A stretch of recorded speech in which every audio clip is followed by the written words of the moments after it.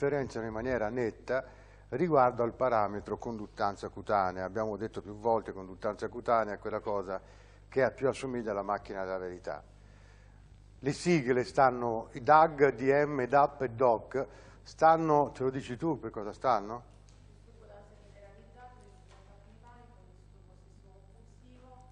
Depressione maggiore.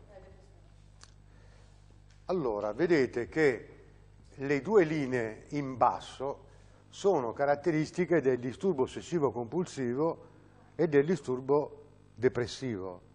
Vedete? C'è scritto ripo ripo che vuol dire registrazione a riposo, poi c'è scritto stre che sta per stress, rec sta per recupero. Vedete in alto molto chiaramente che il disturbo di ansia generalizzata e il disturbo di attacchi di panico, ovviamente il disturbo di attacchi di panico ancora di più, hanno valori molto più elevati, hanno un picco, vedete, al momento della somministrazione dello stress e vedete com'è lento il recupero. Vedete la differenza fra questi gruppi. Qualcuno, mettiamo che ci sia qui uno psicologo, uno psicoterapeuta, uno psichiatra, potrebbe dirmi, ma io lo so già che il disturbo d'ansia è diverso dal disturbo di attacchi di panico, è diverso dalla depressione. Ma si torna a quello che dicevo prima, in situazioni limite io posso avere quella che una volta si chiamava depressione ansiosa. Io posso avere una persona che ha sintomi apparenti di ansietà, dice è già in fase di exhaustion e quindi gli do un ansiolitico, cioè gli do una botta in testa per stare ancora più calmo e questo è quasi già sottoterra. Al contrario posso avere una persona che ha i sintomi esteriori, comportamentali, apparenti di depressione, ma invece in una fase iniziale di exhaustion è ancora iperattivato. Quindi se gli do un antidepressivo, ovvero un eccitante, mi va in overload.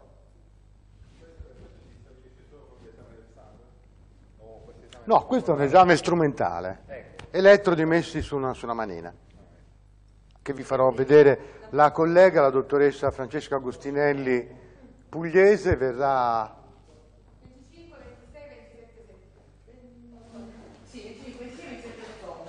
verrà la, questa mia giovane collaboratrice, si porterà un'apparecchiatura portatile tipo Holter, quindi può anche registrare in vivo, si mette in tasca e possiamo registrare una persona che va a giro fuori per 24 ore. DM depressione maggiore, episodio depressione maggiore in questo caso. Va bene? Mi sembra che sia abbastanza chiara questa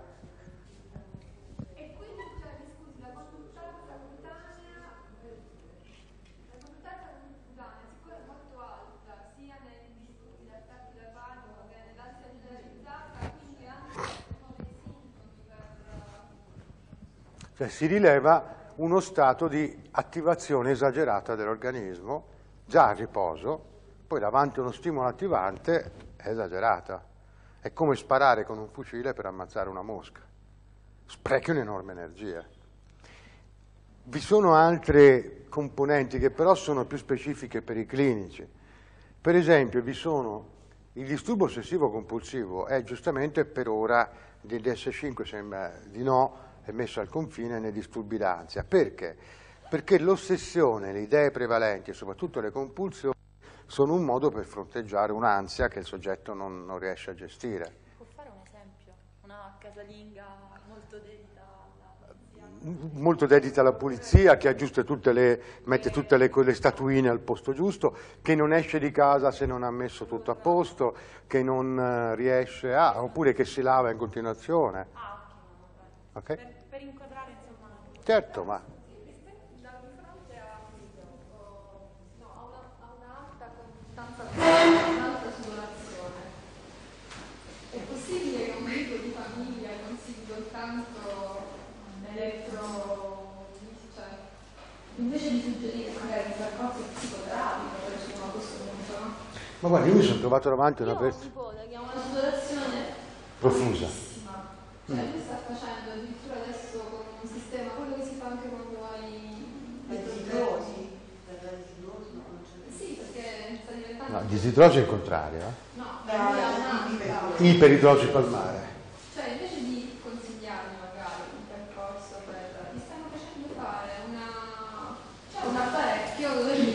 Celle galvaniche?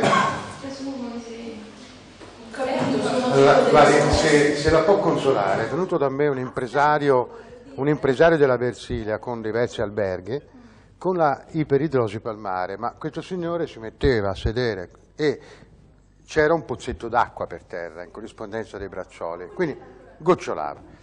Ha trovato un chirurgo di Brescia che gli ha detto venga da me, le faccio una resezione del nervo vago, vedrà che non suda più. Ora, se vi ricordate l'immagine di prima, avete presente il nervo vago è che il cioè, regola tutto quanto, cioè questo non va più al gabinetto perché ovviamente non ha più movimenti peristaltici, non sa più, cioè, questo è un folle no? da, da, da, da, Gestapo. Però quindi non si, non si meraviglia di niente. È anche questo un aspetto costituzionale dovuto a un'iperattivazione, quindi va valutato, va visto e poi si può assolutamente correggere, ci mancherebbe pure. Però non è, anche qui, è il confine che si spiega da detti lavori fra counseling e psicoterapia perché possono bastare, una volta che si è inquadrato, quindi una serie di colloqui, un'osservazione, eccetera, con alcuni test, i test psicologici standardizzati, inquadrano degli aspetti molecolari, quindi un pezzettino di lei, non è che c'è una specie di sacco dove lei entra, però se uno fa una, un aspetto comportamentale, uno più descrittivo degli aspetti emozionali, temperamento, personalità, a quel punto ha un quadro di riferimento. Poi è chiaro che la cosa fondamentale è la storia personale, il vissuto. Mescoliamo tutto, shakeriamo e vediamo. Può essere importante a volte in casi di questo genere, cioè il disturbo psicosomatico, qualunque disturbo psicosomatico, è facilmente debellabile se la persona ci entra dentro. Vi entra dentro Cosa vuol dire in senso psicologico? Che io devo entrare nel meccanismo che mi produce questo. Quindi lo devo incorporare, mentre normalmente lo psicosomatico cerca di non pensarci, di non vedere. Conosce il processo, perché il problema a volte c'è. Allora cosa vuol dire? Se io, facciamo un esempio metaforico un po' psicodinamico, l'iperidosi palmare è pericolosa per le persone che si devono, me la concede la sua mano? Grazie, che si devono salutare. Quindi io devo avere contatti, brava, quelli con l'iperidrosi tengono il fazzoletto sempre in mano, non sapendo che un fazzoletto di carta assorbe ancora di più e quindi facilita questo. Quindi, in senso psicanalitico, vediamo la, la, la, la signora che mano c'ha. No, non c'è, non c'è nulla. No. Diciamo, uno psicanalista direbbe più, più sotto l'ascelle? Esatto, esatto. Allora, abbiamo già fatto una diagnosi, se l'è fatta da sola, abbiamo un problema di accettazione di sé nei rapporti interpersonali. Uno può darsi che abbia bisogno di una psicoterapia per capire bene il rapporto con la sua mamma o con la figura materna che c'ha in testa, potete fare lo psicologo da grande, oppure può bastare a volte una restituzione, cioè se la persona è motivata davvero a cognoscersi in senso latino, cioè appropriarsi dei famosi specchettini sulla palla delle varie parti di sé, può bastare un'analisi di questo tipo, che non è una diagnosi, come si diceva con Dino, un'analisi eticattante, una diagnosi funzionale. Capire certe cose può non rendere necessario fare appunto un'analisi del profondo, o 20 seduto più di psicoterapia. E quindi perché la persona piano piano prende coscienza e acquisisce non solo delle social skill, delle abilità sociali, ma delle abilità di gestione di sé nel, per esempio, ritardare certi momenti, perché le persone che hanno un'ansia sociale, in questo caso, stanno ferme ferme e poi si buttano, no? Mm? Quindi si buttano. Eh. O invece ci sono delle modalità in questo caso, se la persona non è compromessa, ha un buon equilibrio generale, delle modalità molto, che possono essere imparate, specialmente persone con una buona elaborazione mentale. È chiaro che se sono livelli culturali o sociali molto bassi o problemi psichici rilevanti, eh no. ma se in assenza di questo sono abbastanza facilmente risolvibili. Di facile non c'è niente, però ecco, non è così oddio ci vuole una psicoterapia, mi ci vuole dieci anni di psicanalista a cinque sedute alla settimana, no, ecco, non è così. Ok? Altre domande? Parliamo di hidden disorder? Allora, non interessa a Maschietti, però è interessante questa cosa, eh? perché è un'altra di quelle faccende che passano in silenzio. Uh, vedete la, uno, una sezione di un ovaio normale e di un ovaio policistico. Una spiegazione anche per i maschietti veloce di come avviene uh, l'ovulazione. Guardate, io dico i maschietti per non offendere le femminucce, ma le femminucce normalmente sono di un'ignoranza abissale su come funziona il loro organismo, normalmente, per cui vi possono essere delle eccezioni. Se mi sbaglio, una venga qua e racconta alle altre come funziona l'ovulazione.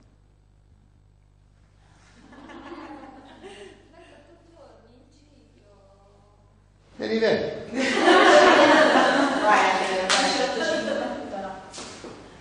Allora, alla nascita le femmine hanno circa 750 ovociti, che sono i precursori degli degli ovuli. Ecco, per esempio, spiegato il rischio di malformazioni genetiche che è maggior responsabilità delle femmine rispetto ai maschi. Non è colpa delle femmine, è colpa della natura. Cioè, voi nascete, avete 700 uova e le tue uova hanno 25 anni. Quanti anni hai? Hanno 30 anni. Le sue ne hanno 40, le sue ne hanno non so che. Invece i suoi spermatozoi, se lui ha avuto un rapporto sessuale con sua moglie l'altro ieri, hanno 48 ore. Ok? Questo è un punto importante. L'ovocita produce un ovulo, quindi dall'interno del...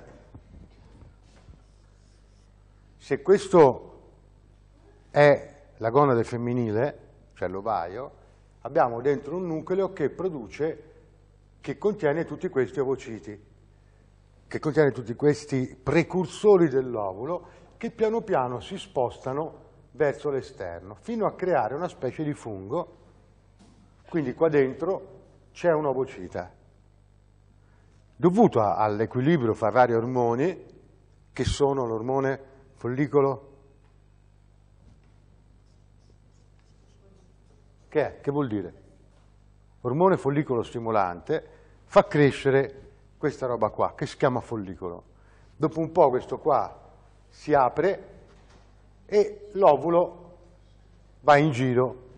Qua c'è una roba fatta così, poi si apre un tubicino che si chiama tuba di falloppio, quindi queste ciglia catturano questo e se lo portano dentro. Questo sta qui per 24-48 ore all'interno della tuba, la tuba finisce nel, nell'utero, qua c'è la vagina, sta qui per un po', se arriva qualcosa si feconda e diventa uovo, se non arriva niente scende e se ne va con il, con il ciclo mestruale. Cosa succede? Che avete visto, ho cercato di farvi vedere, che una sostanza come la prolattina è molto sensibile al livelli di stress, soprattutto di stress cronico, ma che anche la funzione gonadica può risentire nel suo insieme, fatta di vari tipi di sostanze, con nomi strani, no? l'estradiolo, il delta 4 androssenedione, bla bla bla bla, bla progesterone, queste cose strane. Allora, influ è influenzata dallo stress, soprattutto dallo stress cronico.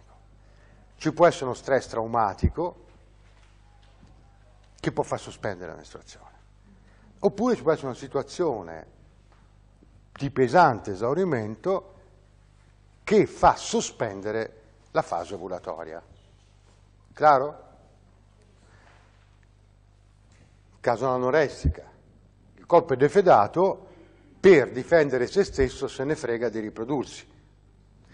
Ma al di là di questa situazione estrema, vi sono altre situazioni che come tutte quelle che riguardano gli aspetti psicosomatici sono in qualche modo influenzate dalla Costituzione del singolo individuo, per cui vi può essere la sospensione della mestruazione. Per uno o più cicli, si chiama dismenorrea.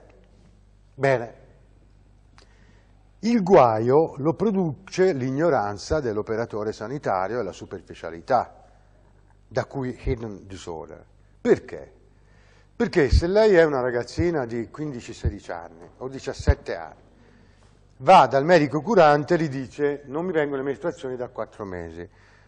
Lui dice sei incinta? No. Allora ti mando dallo specialista. Lei va da lui che è un ginecologo e gli dice non mi vengono le mestruazioni. Va tutto bene, ti guardo dentro, tutto a posto. Cosa fa il ginecologo? Più forte. Mi dà la pillola. Cos'è la pillola? È un progestinico quindi è, ti dà un ormone che ti fa venire artificialmente la mestruazione. Se io ho un problema ovarico, cosa mi succede? Che mi posso sviluppare un follicolo con dentro l'ovulo, ma se non ho abbastanza ormone questo ovulo non mi scoppia, non, il follicolo non si apre, l'ovulo non esce. Se non esce dopo un po' di tempo si cistizza si richiude.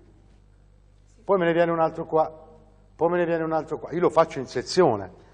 Oppure addirittura mi si possono cistizzare prima ancora di sporgere fuori, fino ad arrivare ad avere un ovaio policistico, ok?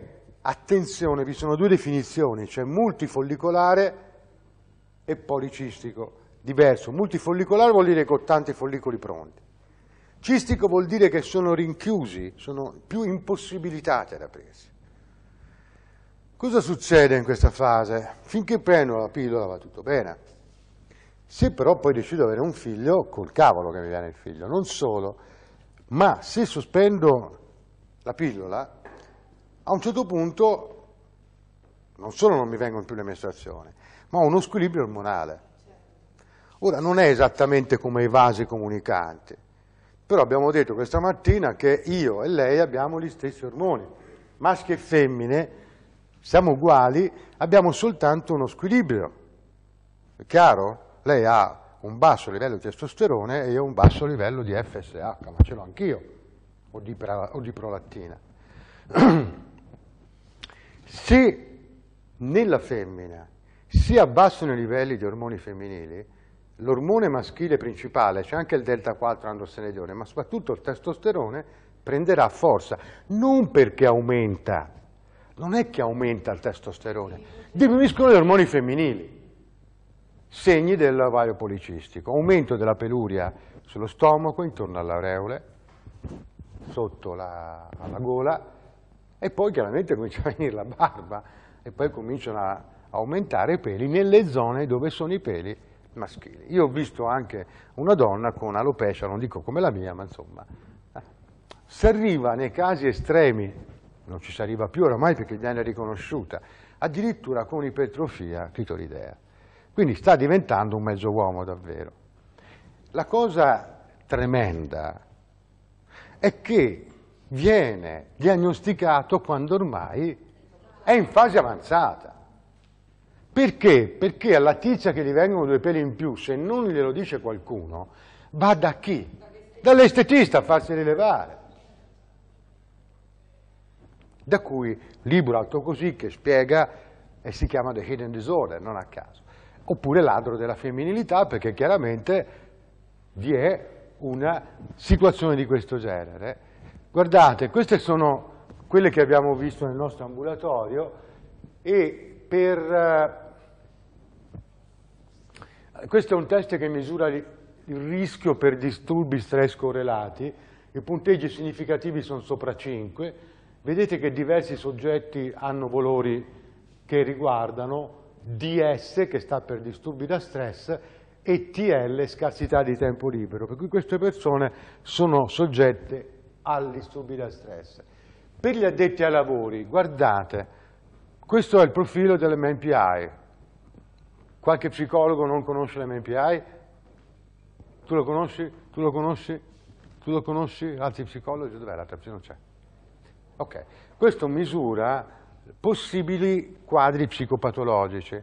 Quindi le sigle che vedete stanno per isteria, depressione, ipocondria, disturbi, deviazione psicopatica, paranoia, psicastenia, schizofrenia eh, e così via. Quello che ci interessa è l'MF, che è una scala che misura delle caratteristiche più mascoline o femminili. Vedete in casi di soggetti che hanno questo disturbo da meno di tre anni, meno di tre anni, hanno un valore che è praticamente pari a persone omosessuali conclamate che vivono male il proprio ruolo sessuale. Qui nessuna di queste è omosessuale, eh? attenzione. Quindi, per chiarire da un punto di vista psicopatologico, una persona che è orientata verso il proprio sesso, quindi ha un problema nel vivere la propria sessualità. Insieme ovviamente a HS, cioè disturbi o comunque una sensazione di qualcosa che non va. L'ipocondria è la persona che dice oddio che cos'ho. Quindi è chiarissimo come vi sia un andamento tipico in queste donne. Da un punto di vista psicologico e psicopatologico vi è una comunanza, una uh, vicinanza. Pensate che sono persone, ora non ve l'ho fatto vedere, ma di età diverse, cultura anche diversa, sempre media, medio-alta, però sono completamente diverse. Pensate il potere che hanno da questo punto di vista gli ormoni. Questo potrebbe essere anche un altro tipo di possibile intervento sul sociale. Fare un'opera di prevenzione sulla policistosi ovarica mettendosi d'accordo con i ginecologi senza dirgli ti voglio insegnare il mestiere. No? Ma per esempio tutte le persone che vengono da te per problemi mestruali, uno li mandi a un bravo ecografista e gli fai fare un'ecografia pelvica, pelvica, con i fiocchi. Due me le mandi a me o al mio centro, al mio ambulatorio e eh, vediamo eh, di caratterizzarle dal punto di vista dello stress, visto che parliamo di stress. Questa è un'altra idea. Guardate che vi è una diffusione altissima. Non dicono che lo stress. E ci mancherebbe. Se, allora. Però se guardi la letteratura scientifica, eh, io dico, guardi, si dà un'occhiata. Tu c'hai il PCO? Ce l'hai avuto? C'hai questa cosa tu? No, io ho delle, delle praticamente ho avuto dei problemi. No, no, no, ah. no, no, no, niente sinceramente. No, no, il problema... problema non c'è arriva l'illustrazione? No, i figli. Non ho capito. E, non c'è niente, né te né il marito.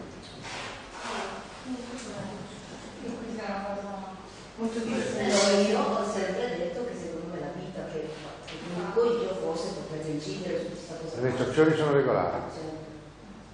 Non lo però loro mi dicono continuazione però non è una Beh, se le menstruazioni sono, gli ormoni sono tutti a posto. Scusa, ma non ne hanno riportato in E il marito è tutto a posto? Sì, apparentemente No, ha fatto un'analisi della sperma. E allora c'è un mistero.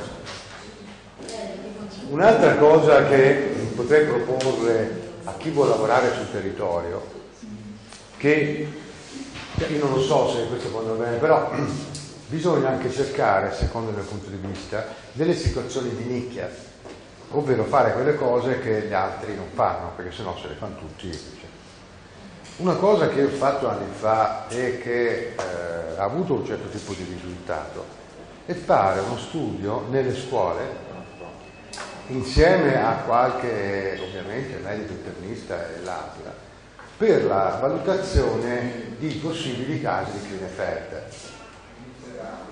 È la sindrome di Klinefelter che eh, colpisce un maschio su 600 o qualcosa del genere.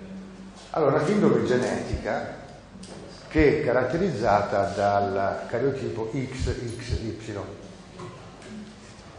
Chiaramente ci vuole questo pensionamento, però è molto interessante perché non hanno grossi problemi, non sono particolarmente intelligenti, sono molto, cioè non sono né stupidi, però non sono un elevato livello di intelligenza, soprattutto intelligenza teorica, mentre è più elevata quella pratica e hanno una certa abilità artistica, sono bravi in disegno, queste cose qua, oppure in applicazioni tecniche, per esempio. La cosa molto particolare è che non si evidenziano particolari segni fino a un certo, una certa età. Una volta andavano a militare e eh, oppure se ne addirittura se ne accorgevano perché non avevano figli. Chiaramente, essendo una sindrome genetica, sono assolutamente infertili. Il grosso problema è la comunicazione. Cioè io ho trovato persone che sono andate in depressione o sono diventate omosessuali perché hanno trovato un genio che le ha detto ma lo sai che lei è una mezza femmina? Ma lei ci ride, ma è successo davvero, eh? Un genio.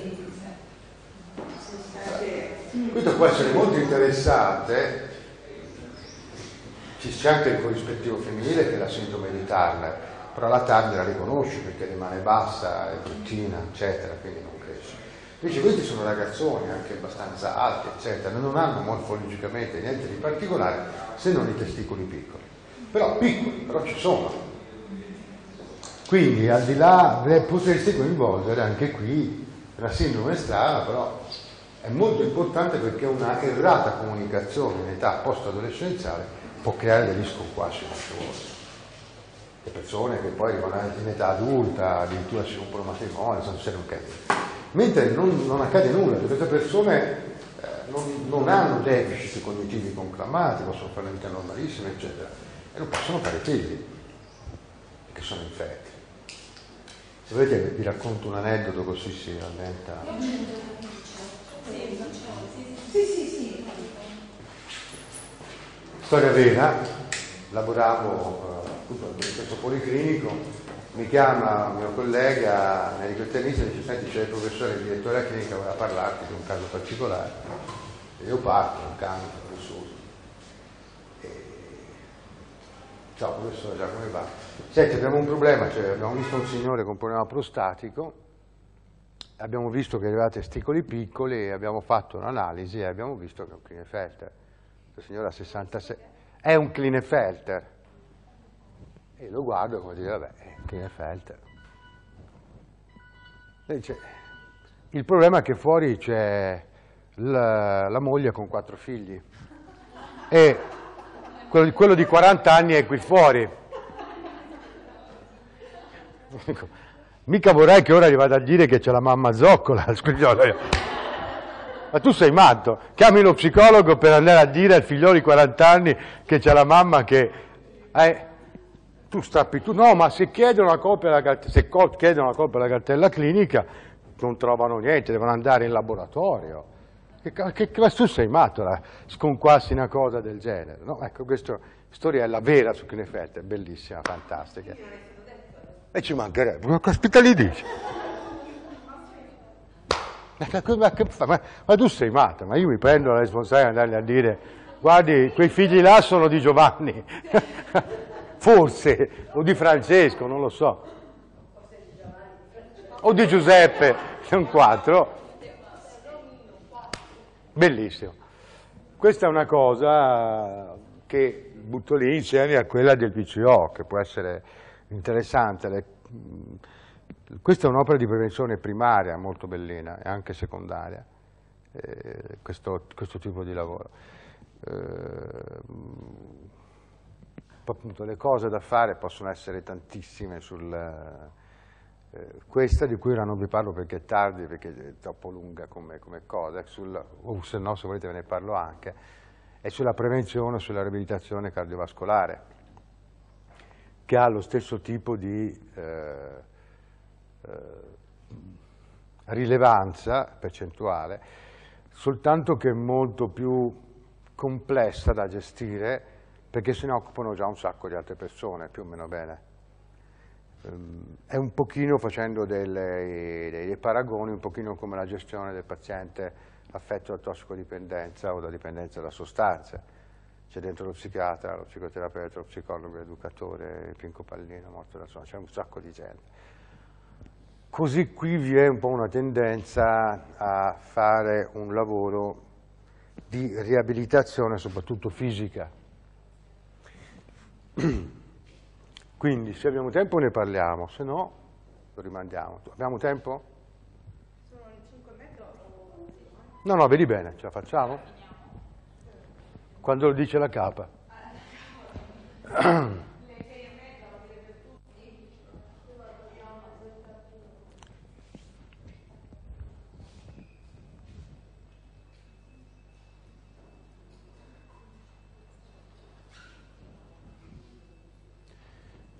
Dopo torniamo indietro, ma intanto vi faccio vedere questa cosa. Cosa si intende per disturbo cardiovascolare? In tante cose, in primis ovviamente c'è l'infarto, eh, cos'è l'infarto lo sapete? Cos'è? Mm. L'infarto può essere a seconda dell'entità una paralisi da parte del cuore. Se è bello forte non muori. Non muori. Infatti,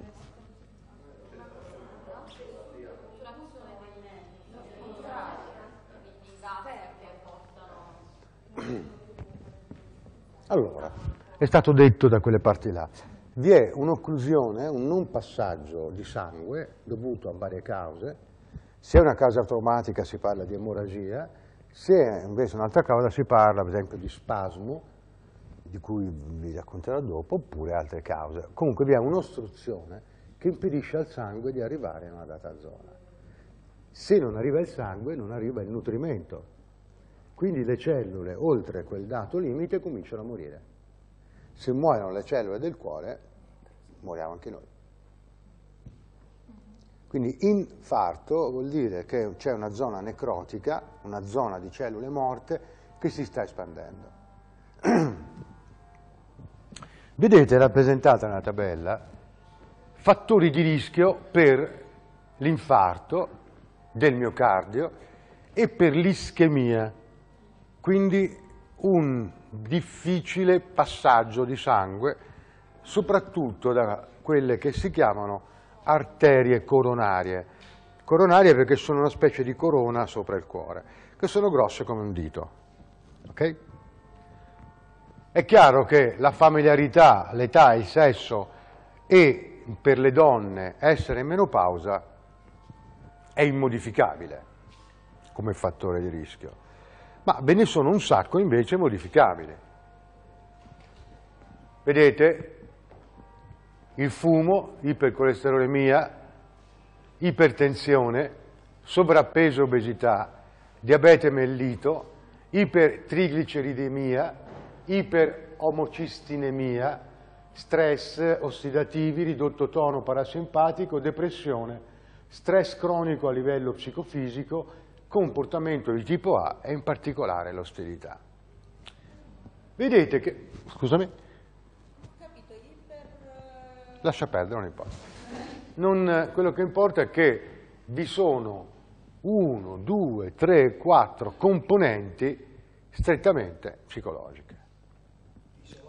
Psicologiche, psicologiche, che sono statisticamente rilevanti e riconosciute dall'Organizzazione Mondiale della Sanità come fattori di rischio primari per disturbi, disturbi ischemici cardiovascolari.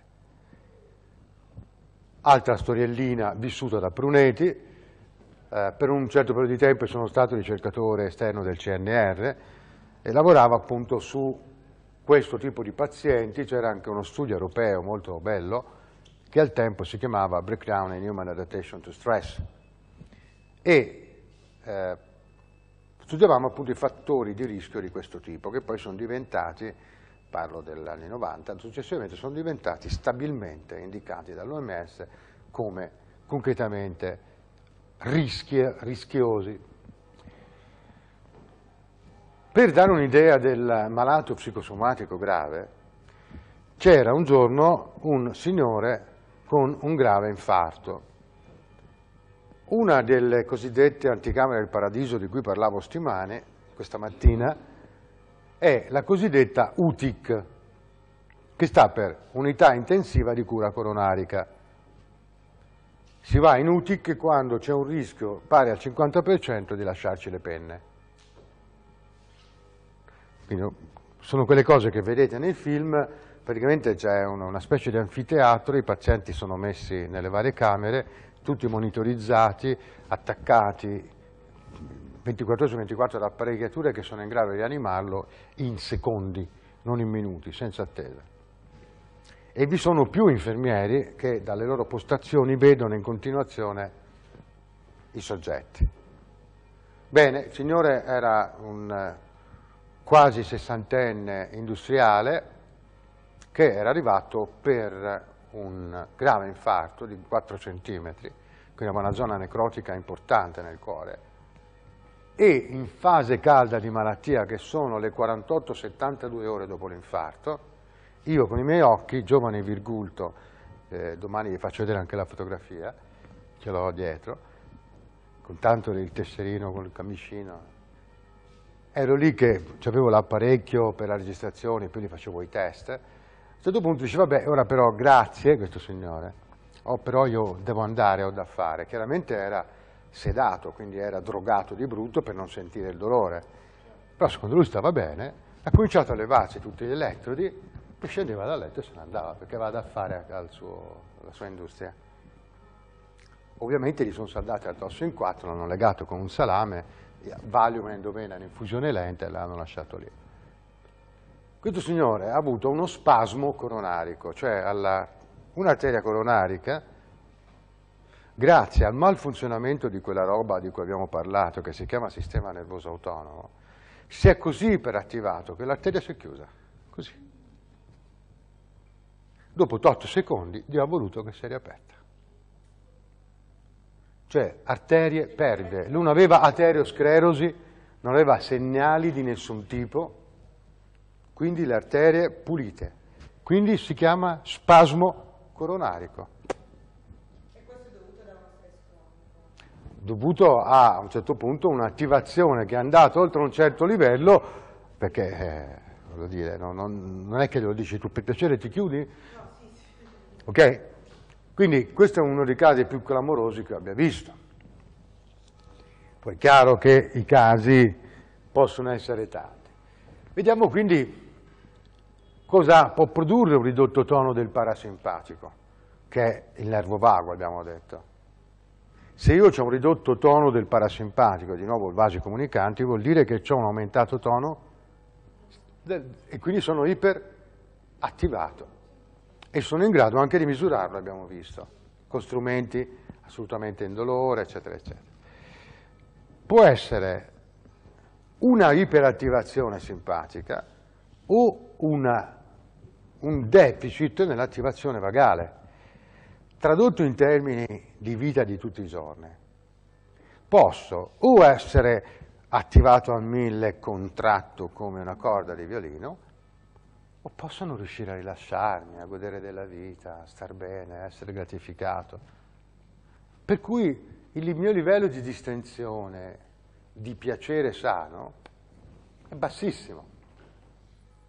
Sono spiegato meglio? O no? Allora, vi sono due sistemi competitivi, uno attiva, uno, uno rilassa. Se io ho un ridotto tono, quindi il tono del simpatico è basso, il tono parasimpatico. Parasimpatico è il sistema che gestisce tutti gli organi interni e cerca di riportarli al più basso livello di funzionamento possibile. Lo aumenta. Quando mi si abbassa la frequenza cardiaca? Quando io sono bello calmo e tranquillo e beato.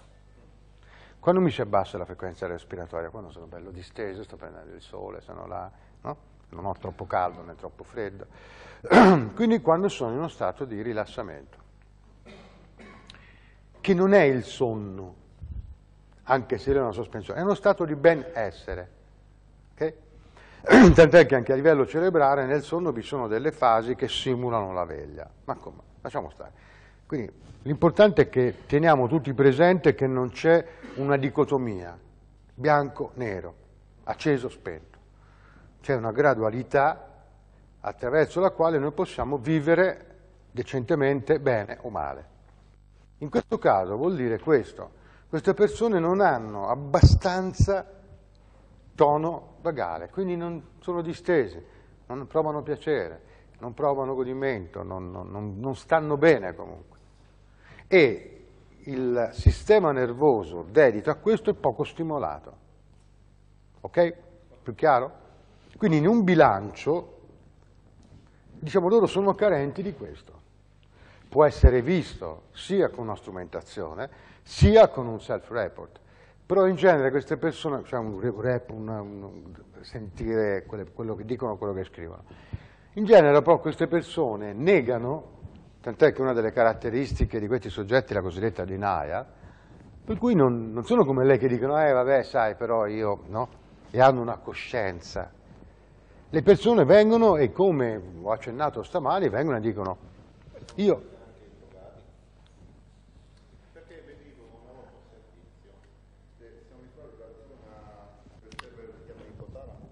Sì, ma è una cosa diversa, sai, di, eh,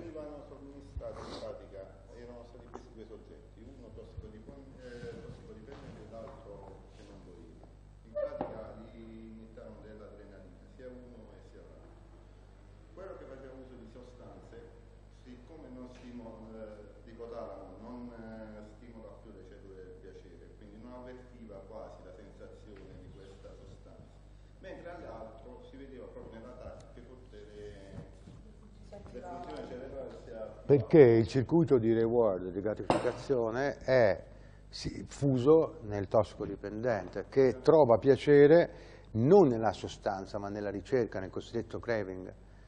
Okay? La cosa è complessa. In ogni caso, l'esempio in questione è di questo tipo.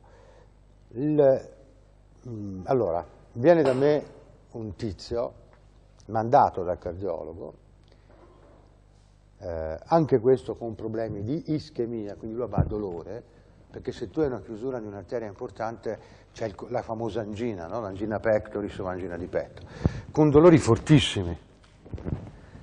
Bene, questo eh, ultra sessantenne con eh, gli euro, i milioni che gli uscivano dalle orecchie come a me a te i peli, aveva una vita assurda, aveva una barca di, di, quasi 40 metri che adoperava per, come traghetto personale per andare eh, in Sardegna, però poi lavorava 16 ore al giorno per tenere sotto controllo tutte le sue attività. Ed è venuto e mi ha detto chiaramente, guardi, io sono qua perché mi ha mandato il dottor Pinco, lei mi deve aiutare perché ho l'ischemia, io però ho da fare questo, questo, questo, questo, questo e questo che mi deve aiutare a non cambiare il mio stile di vita. Dico, vabbè, arrivederci. Cioè le persone hanno in mente la performance, non sanno che muoiono nel frattempo. Ecco la denial. La negazione è un disperato tentativo di un mantenimento di uno status quo. A, a, appena appena. Mm.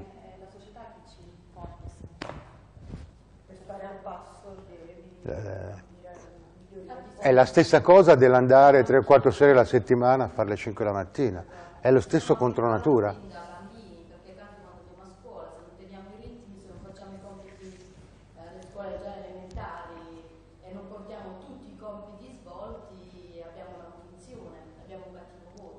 cioè è una cosa che ci imposta dall'esterno, un condizionamento esterno.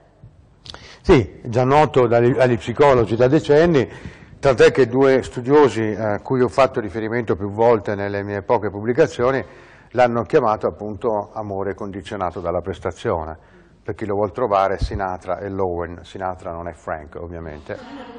Eh, mh, mm, vero, però questo ha una presa diversa a seconda della tipologia di personalità dei singoli individui, anche di personalità in formazione. Quindi sono tanti fattori e cofattori che entrano in gioco e il cosiddetto comportamento di tipo A è uno di questi. L'ultima persona che ho descritto definisce il type A behavior, che è stato è venuto fuori negli anni 50 e 60 appunto dall'osservazione di due cardiologi americani, o meglio ancora dall'intuizione della loro segretaria. Che cosa notò la segretaria? non se lo ricorda. Notò che le eh, seggiole della sala d'attesa erano consumate soltanto nella parte terminale, come se le, come se le persone fossero sempre sul punto di andare via, di scattare. No? E loro fecero questa osservazione e eh, videro in effetti che questo, che in inglese si chiama time urgency, cioè l'urgenza di tempo, il fare sempre certe cose, era tipica di molti di pazienti cardiovascolari, non di tutti, perché sennò sembra che lo stress e basta sia la causa dei disturbi cardiovascolari, ma di molti di questi. Si eh, misero d'accordo con uno psicologo americano, certo David Jenkins, che ho fatto venire in Italia due anni prima che tu arrivassi te a fare delle lezioni, ho ancora le diapositive, quindi il grande David Jenkins eh, went to Italy in Parma in 2004-2005, uh, mi ricordo, e grande persona, persona immensa, e tirarono fuori anche un uh, test, oltre che delle interviste, per misurare queste caratteristiche che appunto sono ostilità, cioè rabbia repressa, non espressa, sono urgenza di tempo, sono... Eh, esatto. Com'è? Comportamento di tipo A. Sto descrivendo il comportamento di tipo A.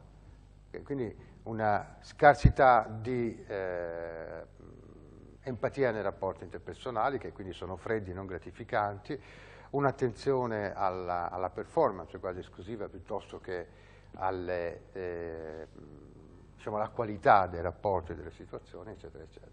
Quindi scriveva un pochino il tipo di manager che era tipico in quei tempi, che poi è sfociato nel famoso boom economico degli anni 60 del dopoguerra, prima americano, poi anche europeo. Quindi la persona cinica, però eh, l'osservazione intelligente che fece Jenkins, che tirò fuori nel suo, eh, poi negli anni 70 nel suo questionario che si chiamava Jenkins Activity Survey, eh, fu proprio questa, che non erano persone psicopatiche, cioè non era il cinico psicopatico serial killer potenziale. Al contrario, avevano successo perché avevano una certa sensibilità, intesa nel senso comune del termine, quindi capacità di risonanza. Tu puoi risonare o meno con una persona. Empatia. Risonanza ancora prima dell'empatia, perché l'empatia vuol dire che io provo le tue stesse cose. Quindi io prima devo risonare con lei poi se la conosco posso essere empatico e sentirla e percepirla. E posso esserle con lei due, con lei, con lei cinque e con lei uno. Okay? Eh, mm, l'empatia e la simpatia si assomigliano, ma sono caratteristiche qualitativamente diverse. Simpatos vuol dire io ho piacere nel sentirti, io provo piacere, mi piace. In questo caso vi è un'identificazione, mi piacciono le persone che sono all'incirca come me, mi danno una conferma che io sono bello, buono, bravo, che ho i capelli lunghi, eccetera. No? E invece l'empatia vuol dire che risuono insieme. Però vi sono situazioni e persone che hanno questa capacità di vibrare, come un'arpa, e queste persone sono eh, da una parte fortunate, ma come tutte le medaglie, dall'altra meno. Perché non è che queste persone risuonano solo per le cose buone, purtroppo risuonano anche per le cose meno buone. No, è noto che i famosi artisti, eccetera, alcuni sono addirittura suicidati perché non sopportavano il peso di questa capacità di cogliere le minime sfumature della realtà o degli altri. E questa è una delle caratteristiche del type A behavior. Quindi non vi è una psicopatia, ma sono persone che diventano dure per necessità, mi sono spiegato? Quindi che fanno una scelta, e ritorniamo al paragone di questa mattina della famosa palla con tanti specchietti, e dicono no, questa parte qua non mi appartiene. Allora io mi butto tutto di qua, sul lavoro, sulla performance, sui soldi, eccetera, tanto da morirne, perché ovviamente la parte che hanno lasciato in disparte è altrettanto importante al punto da farli morire di crepacuore. Okay? Questo è il type A behavior. Quindi non sono sono persone che hanno dei comportamenti che possono essere descritti anche come cinici, assolutamente non empatici, ma che in realtà hanno delle caratteristiche di personalità orientate in questo senso. Ho le prove, eh, toccate con mano. Il, lo stress cronico a livello psicofisico, eh, questo ne abbiamo parlato tutto il giorno. Cronico vuol dire che io non esco mai da un dato tipo di situazione. Eh, poi, lavoro, lavoro stressante, poco gratificante o comunque non... o anche, purtroppo anche uno stress come quello, ma perché a me non mi vengono figlioli, speriamo di no. Eh, se poi a un certo punto ci sono tanti bimbetti in giro, ne do uno e poi se ne riparte. Eh, Ricordate, per stress cronico c'è scritto giustamente psicofisico, perché lo stress, spero di essermi spiegato oggi, non è una malattia o un'etichetta, è una risposta globale dell'organismo a un dato problema o situazione che viene percepita come problematica. Quindi il nostro corpo, come diceva Ippocrate di Kos questa mattina, l'integrazione mente-corpo vuol dire che a livello psicofisico noi ci attiviamo per il 70-80% in maniera automatica, come diceva lo zio Sigmund Freud, in maniera inconscia, consapevole. Il nostro corpo si mette in moto per affrontare una cosa e se non stiamo attenti continua a stare in moto. E certe persone con caratteristiche di ipercontrollo oppure che hanno una, scusa, una tendenza alla, esempio all'ancia di prestazione, possono avere un atteggiamento particolarmente eh, rivolto alla eh, repressione di certe parti di sé, al punto da creare una situazione di perenne tensione. L'esempio che faccio io è della persona che per tenere sotto controllo la macchina va in seconda, sempre. Pianura, salita, discesa, sempre in seconda, semmai 80. Ovviamente consumando un sacco di benzina, di olio, usurando il motore. Non solo, ma se sono particolarmente rigide, se c'è qualcuno accanto che dice ma cambiano, io cambiare ci mancherebbe, e continuano dritte per la loro strada. Ecco, questa è la situazione più pericolosa per il discorso dello stress cronico. Il eh, stress cronico a livello psicofisico cosa vuol dire? Vuol dire che la persona è sorda o cieca ai sintomi o situazioni che l'organismo gli mette davanti. Perché oh, è, è terrorizzata dal cambiamento.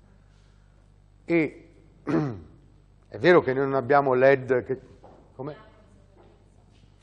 Non ha consapevolezza, ma un atteggiamento proprio di rifiuto della realtà, di più, cioè si chiude. Quindi, noi non abbiamo un LED o un cicalino che fa bip bip bip bip, però ci sono dei segnali di malfunzionamento. Sì, ma lo fa con un punto di riferimento unico, non guarda l'altra faccia, quindi non è capace di... Ti faccio un esempio personale, ma non vorrei che fosse interpretato male a livello, cioè io sono un fesso qualunque, capito? Non è che io ho risolto il problema o la... Però due esempi ti faccio, che forse rende bene questa cosa. Eh, uno dei, dei, prof che ho conosciuto mi ha, dato, mi ha fatto professore a contratto giovanissimo. Io sono sempre stato un giocherellone, anche con i miei collaboratori di allora, poi avevo 30 anni, se lo sono ora, figuriamoci allora. Tant'è che una delle mie collaboratrici, bravissima, mi disse, guarda, vedi, quello si vede che è un professore. C'era un tizio che sembrava un carabiniere in alto uniforme, no, giacca, cravatta, dico, sei sicuro avergli fatto un complimento? Cioè io lo vedo in borghese fare l'ospedale e riconosco da fuori che è un professore, cos'è un carabiniere 24 ore al giorno in servizio? E l'altro episodio, anche questo sì, di molti anni fa, in ospedale va in giro col camice, con la tacchetta, no? con scritto dottore o professore o Pinco Pallino. In tutti i policlinici, immagino anche quelli di qua, eh, ci le stradine, appena esci fuori col camice trovi sempre qualcuno che dice scusi ma dov'è la clinica, dov'è... Eh, Per cui fai 100 metri, 5 persone che ti chiedono. Vicino a dove abito ci sono le Alpi Apuane, che sono dei monti di 2000 metri in faccia al mare, dove sono anche le cave di Michelangelo, eccetera. Sono dietro le spalle, proprio. Cioè, la riviera, poi ci sono le Alpi Apuane, poi c'è la Garfagnana e poi c'è l'Appennino. Quindi sono queste montagne che sono veramente imponenti perché sono appunto la più alta è 1957 metri e, e viene su dal mare come un fungo.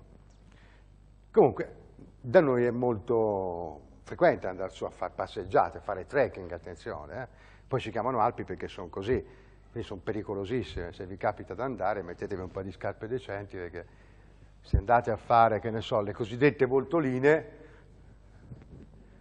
dopo che avete fatto 300 metri cominciate a vedere lapidi di imbecilli che vengono dal mare e vengono su con le scarpe da tennis e poi ci lasciano le penne, perché ovviamente cioè, la strada che dico io è sulla Pagna della Croce che è 1880 metri, cioè, capito? Sì, la vedi lì, ma Quindi evitare di fare cretini è sempre meglio. Comunque, ero su che passeggiavo, molti anni fa avevo ancora lo zaino che avevo quando ero scout, quindi intelaiatura di metallo e verde tipo militare, eh, pantaloni alla zuava di, di, di velluto, camicia a scacchi, quindi ero vestito da montanaro. Andavo su, mentre camminavo, un titolo mi fa, scusi ma il sentiero 25, il sentiero del Caire, che è il balcone italiano. E io, guardi, eh, se passa di là, lì c'è il Monte Prosinto e poi scende giù, va al rifugio col 25. Flash, mi sono sentito in ospedale. E ho fatto questa considerazione. In ospedale c'ho il camice, ma io sono dottore della mente, ce l'ho anche scritto. Qua sono vestito da montanaro, però dove era il sentiero lo sapevo e comunque dietro nello zaino c'è la carta dei sentieri perché non mi voglio perdere. Quindi queste due mie facce sono abbastanza coerenti. Chiaramente se andavo sulla Pania vestito col camice e in ospedale con pantalone alla zuava, forse non era così la stessa cosa. Ora, cosa vuol dire che Pruneti è coerente? No, che Carlo Pruneti è nello stesso tempo diverse cose e si sforza di esserlo, perché niente è facile nella vita appena trovate la ricetta del vivere felice, se me la passate anche a me, io ve ne sono grato.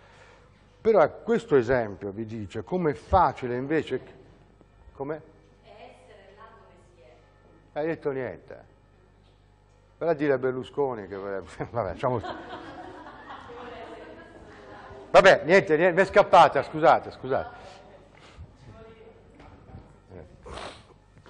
Vabbè, lasciamo stare. Dicevamo, è vero, Link et Nunc però lo predicano da qualche eh, giorno, capito? qualche settimana. Quindi mh, mm, queste persone hanno questo grossissimo problema, portato all'estremo, tant'è che il loro vissuto è così scarno rispetto alla loro, fra virgolette, natura, e si parlava di natura con, con lui prima, da farli soffrire al punto da farli scoppiare, letteralmente. L'ultimo è la depressione. E qui si parla della depressione di cui io accennavo prima. Quindi non è la sindrome depressiva maggiore, ovvero la depressione cronica in cura psicoterapeutica e psichiatrica, ma è quel tipo di depressione chiamata exhaustion di cui accennavo prima. C'è una sindrome di nuovo di esaurimento e di non contentezza.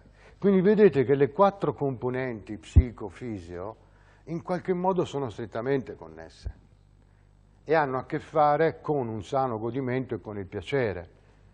Quindi non, non è con l'eroina, con la coca, con l'LSD 25, con il, il peote o quello che vi pare che sottiene il vero godimento e, mm, o con altre cose. Ripeto, la ricetta della felicità non ce l'ha nessuno però nel dare adeguati spazi o insegnare agli altri o far vedere agli altri. Ecco un ruolo positivo di uno psicologo non necessariamente che si occupa di terapia, ma imparare bene strumenti di valutazione funzionale, non diagnostico etichettante con, da appiccicare sulla testa, perché soltanto far vedere l'altro attraverso gli occhi non solo tuoi per quanto tu sia bravo, ma anche di strumenti o di sistemi, è un modo, cioè la cosiddetta restituzione, che non è la diagnosi in senso clinico, può essere estremamente importante e utile per iniziare appunto un percorso di counseling. Lui non ve l'ha detto, ma prima lui mi ha fatto una domanda sulla naturalità, sulla biologia, su queste cose. E bisogna stare molto attenti perché il ritorno alla natura è un modo di dire, è un modo a volte per sciacquarsi la bocca con dei bei concetti.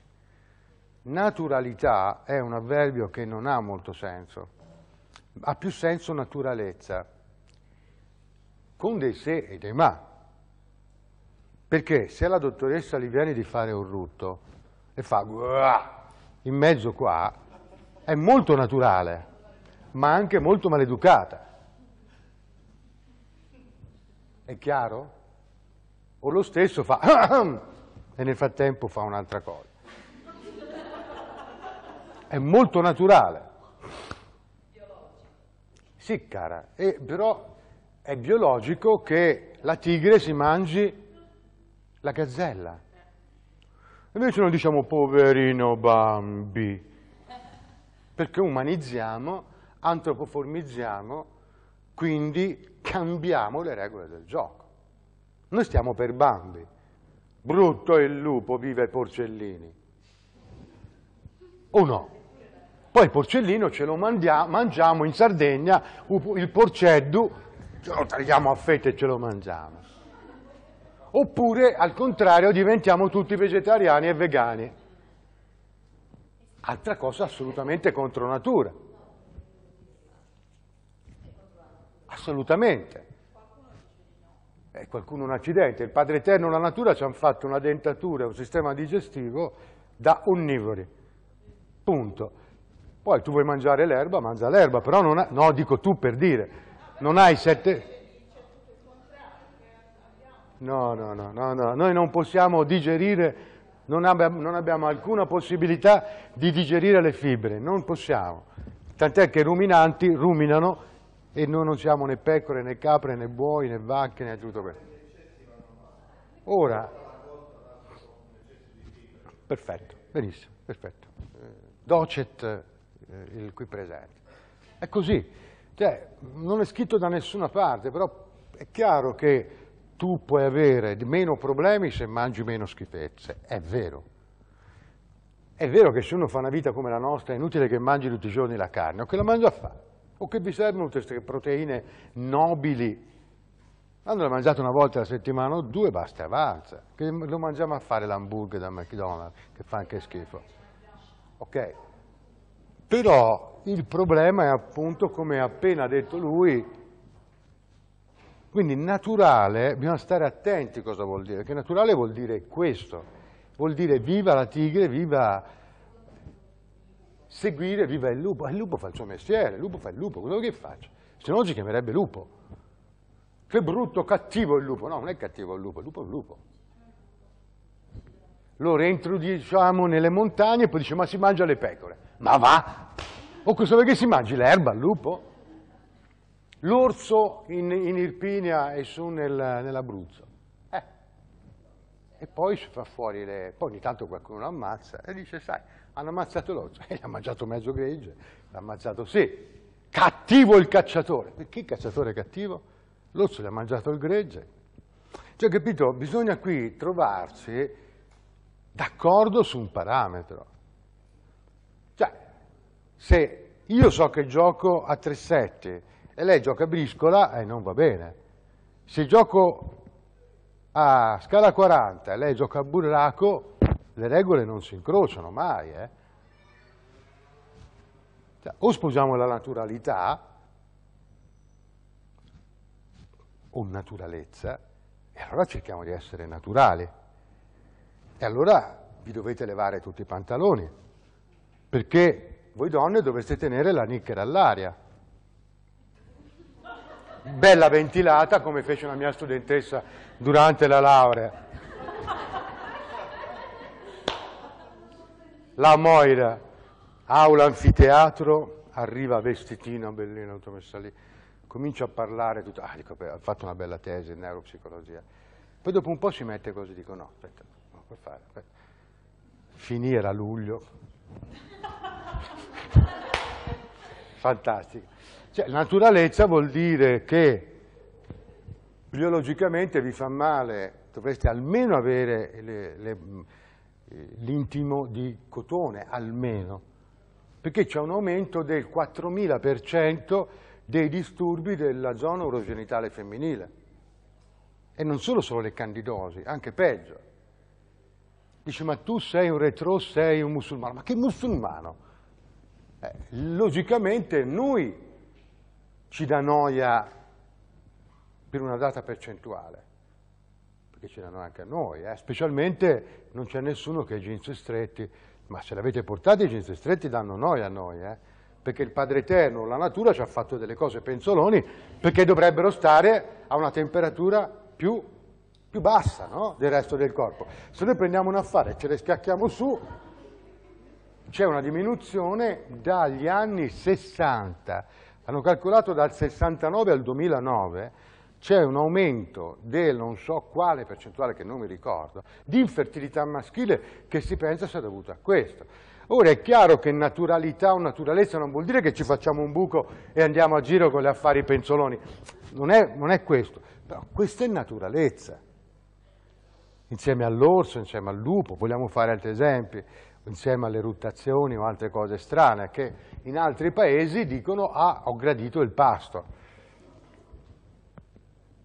Quindi o scegliamo una via o scegliamo un'altra, perché sennò la gente si confonde e va più spesso dallo strizzacervelli, il che fa comodo a lei, però non è un buon segno per la nostra società, perché il vero psicologo dovrebbe soprattutto lavorare insieme alle altre equip a livello di prevenzione, secondo me.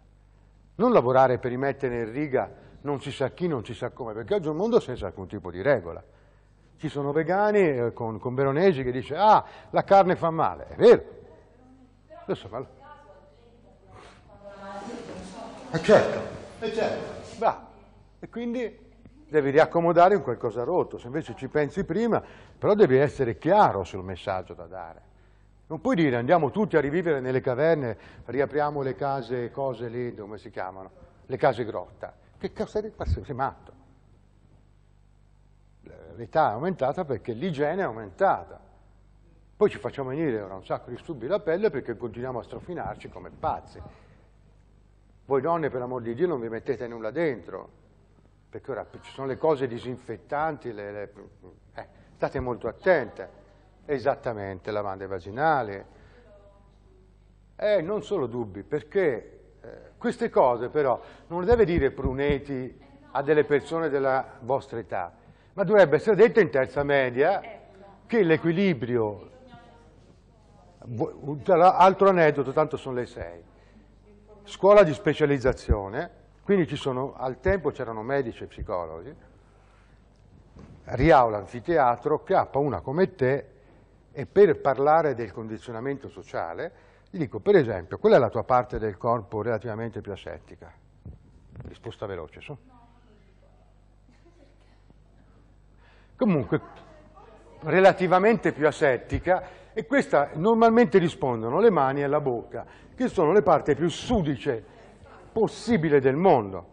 In particolare la bocca è l'orifizio aperto all'esterno, pieno di batteri di ogni tipo. La cosa più schifosa che possiamo fare è darci un bacio sulla bocca. È lo... Come? Io la penso come te e a me fa molto schifo e prima di baciare una persona sulla bocca devo essere veramente molto preso. Ma al di là di... sapete da cosa viene il bacio sulla bocca? Perché ci si bacia? L'ha letto?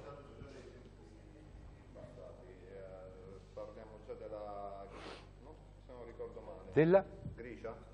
No, no, ma senza andare anche 200 anni fa, o 150 anni fa, Ora ci sono gli omogenizzati plasmon, ma al tempo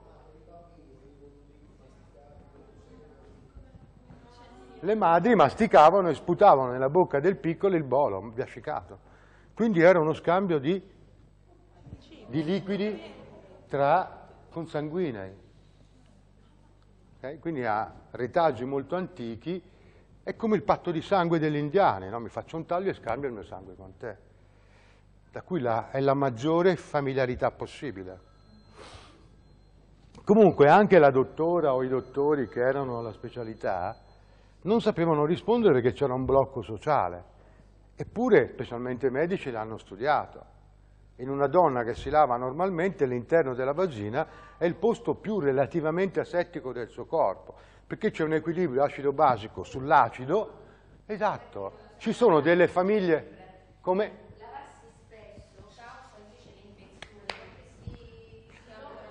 La, lavarsi, ma senza andare dentro, senza mettersi tutte quelle cose che consigliano, perché lì ci devono stare quei batteri. Hai capito? Lì ci sono famiglie di batteri, come nell'intestino, noi ce l'abbiamo anche nell'intestino, ma ce ne sono meno razze. Invece vi sono alcune razze, come il tricomonas, come la, la, la, la candida, eccetera, che lì ci devono stare, ma sono in un equilibrio tale che si compensano. Se io lo sconvolgo, uno di questi prende il sopravvento e siccome ce n'è troppo mi si infamma la mucosa, quindi ho dolori, ho pruriti, ho cose varie. Quindi di nuovo siamo una società di questo tipo io ti do qualcosa per farti venire un qualcos'altro perché così tu prendi un'altra cosa. Ok? Quindi anche questo, detto nei giusti metodi, con le giuste considerazioni, la conoscenza, cioè l'appropriarsi, proprio in senso latino, di certe nozioni biologiche e naturali, può favorire lo sviluppo e impedire, entro certi limiti, certi disturbi. Non capisco perché non viene, vengono insegnate, viene insegnata l'educazione sessuale, no? Ma le donne tutt'oggi... Neanche. Ma le donne non sanno come le funziona la, la, la, la, non lo sanno, gli uomini pure, per amor di Dio. E arrivano all'età adolescenziale con questo coso fra le gambe che non sanno bene come trattare. E poi semmai se lo guardano, se lo cosano, se lo confrontano con gli altri. Maschi voi femmine non, non avete un'idea del condizionamento a proposito di sesso. Cioè, ragionate su questo. Il simbolo del maschile è una verga alta così, grossa così, in tutte le mitologie o religioni. Non è un aggeggino penzolone un cencino, no, una bestia di buona anche la maniera. Ora, voi pensate che noi abbiamo fra le gambe la possibilità di fecondare, ma per l'appunto è l'unico organo sul quale non abbiamo alcun controllo cosciente. Possiamo muovere anche le orecchie, se vogliamo un pochino, ma quello... Come?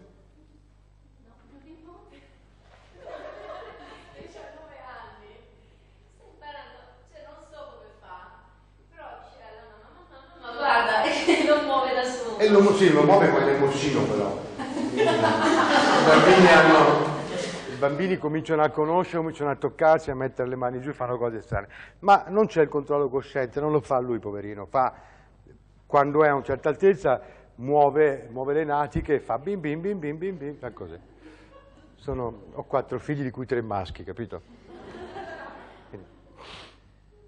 Tornando al dunque, pensate a questa, questo condizionamento intanto sociale no, dell'uomo forte, no, che ha la nerchia grande come tutta questa casa, e compagnia bella, che è legato alla potenza che una volta la potenza fecondativa, oggi è la potenza proprio del maschio.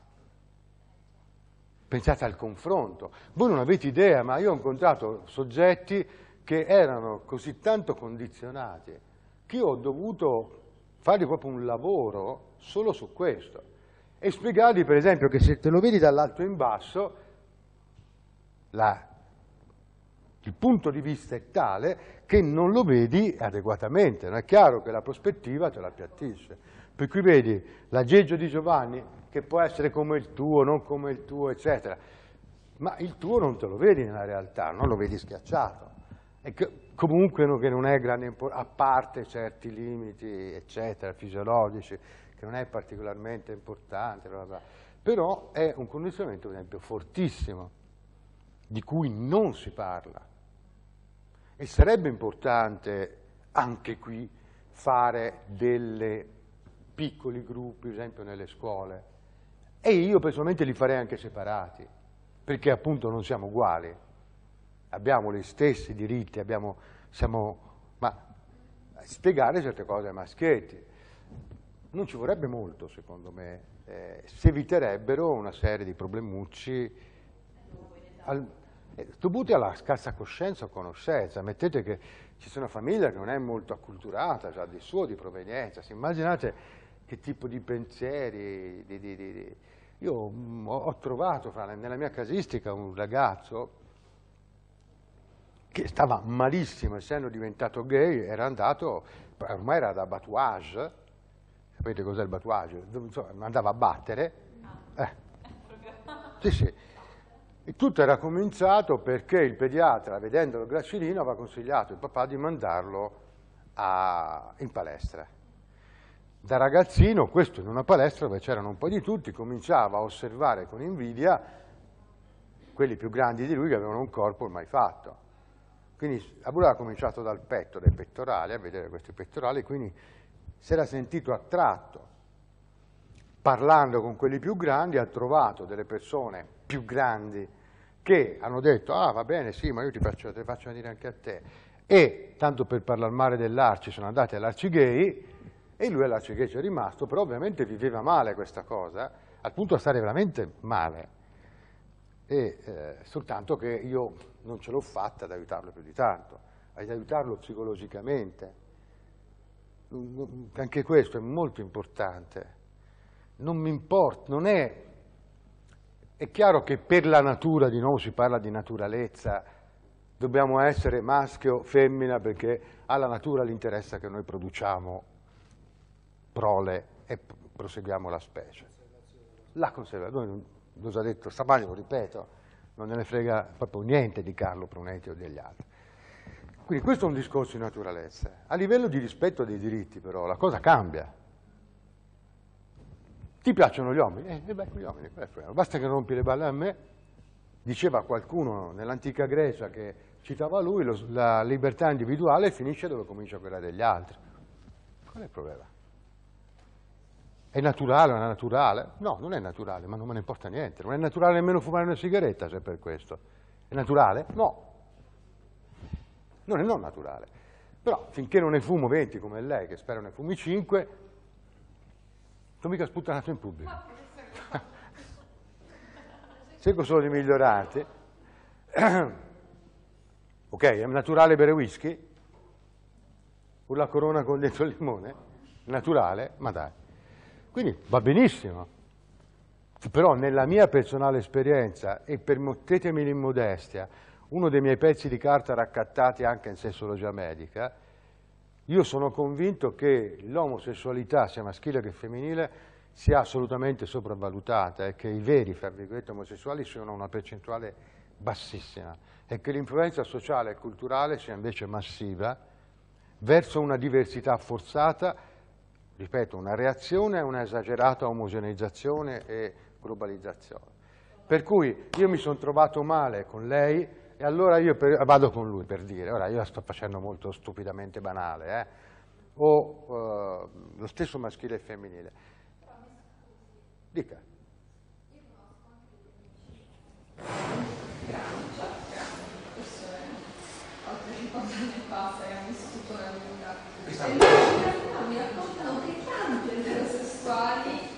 Rapporti con loro perché magari di fatto erano chiesto, no, nel senso che forse pensavo invece che sono di più gli omosessuali non da sempre.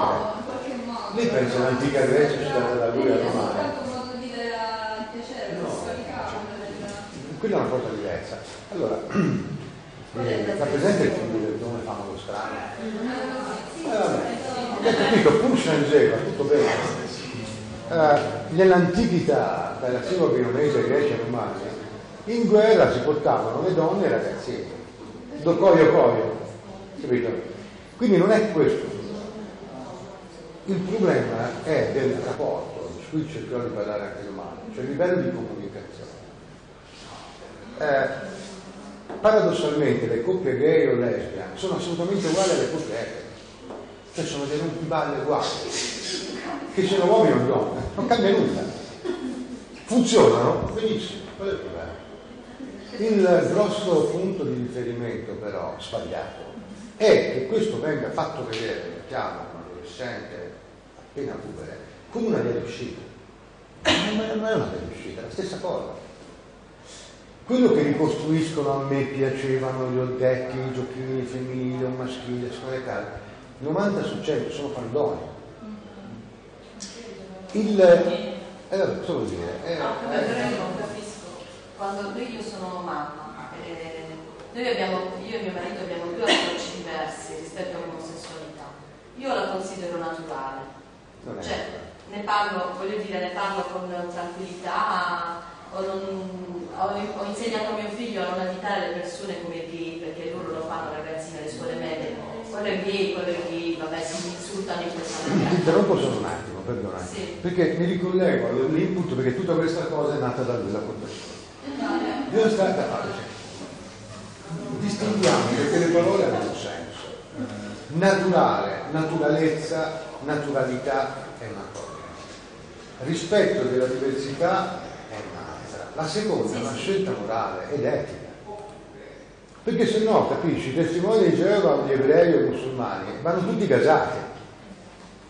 Perché non si mettono così o E qui o questa era la fanno? mia domanda, cioè io ho questo atteggiamento molto tranquillo, rispetto i diritti di tutti e quindi l'omosessuale per me è una persona come me che ha fatto delle scelte diverse. Io sono etero, lui è omosessuale.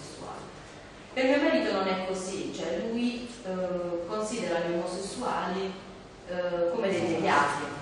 Dei Deviati. Beh, sono deviati, se lui, si è capito, è un discorso di punto di vista. Però lei stava dicendo prima che eh, ne aiuti perché un po' mi sfugge un po' il concetto. Lei stava dicendo che comunque eh, dare al ragazzino che quella possa consentire essere una, una via di fuga è sbagliato perché poi non è via No, non è sbagliato. No, no, no, no, attenzione, attenzione.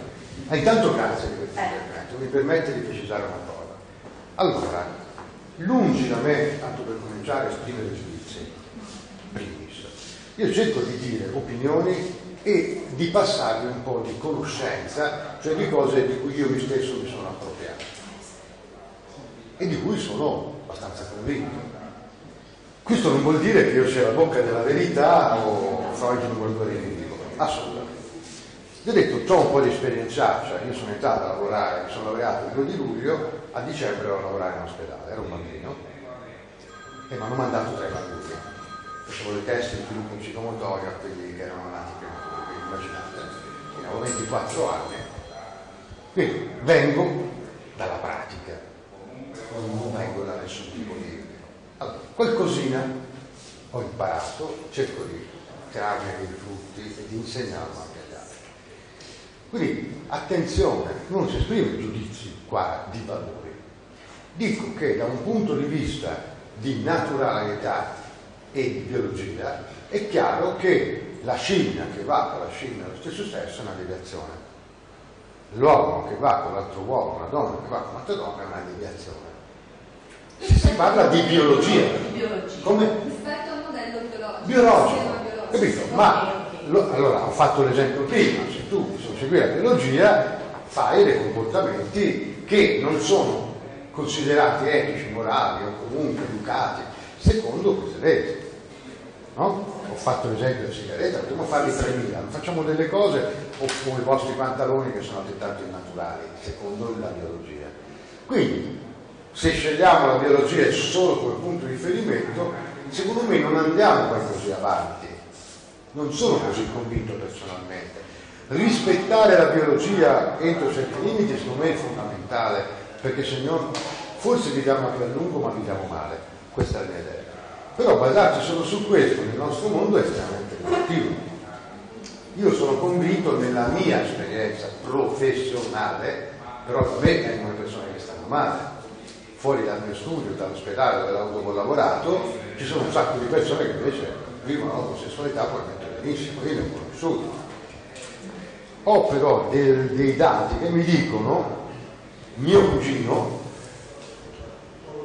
che dopo due fallimenti matrimoniali a un certo punto eh, si è innamorato di un siciliano. Va. Oh va bene. Ciao ovviamente due figli, ma sono Ha scoperto a, a 46 anni la sua omosessualità. Grazie. Ma si date pressa prima, non è che il contesto storico in cui viviamo Ascoltami, eh, è un caso da Sigmund Freud. C'è un padre, un padre inesistente e una madre uomo che l'ha per tutta la vita seliziato, gli ha impedito di studiare come voleva studiare, quindi lui c'ha un odio atavico per le donne. Conosco casi dove è diversi, dove Eh, c'è un padre che è, è un padre padrone e la madre inesistente. Ma lo so, Ma ad esempio, non c'è una regola, eh, non c'è un non c'è una regola. Però eh, spesso e volentieri no, si sente dire che si diventa omosessuali in seguito magari a una condizione familiare o degli abusi subiti, eccetera. Ma in realtà questo non è vero. Oppure è, è l'omosessuale vero è quello che nasce proprio così, che fa Sì, una vita L'omosessuale vero secondo me è quello che nasce con una disfunzione, e sono pochissimi. Poi con una disfunzione, io ho visto anche hermafroditi, eccetera,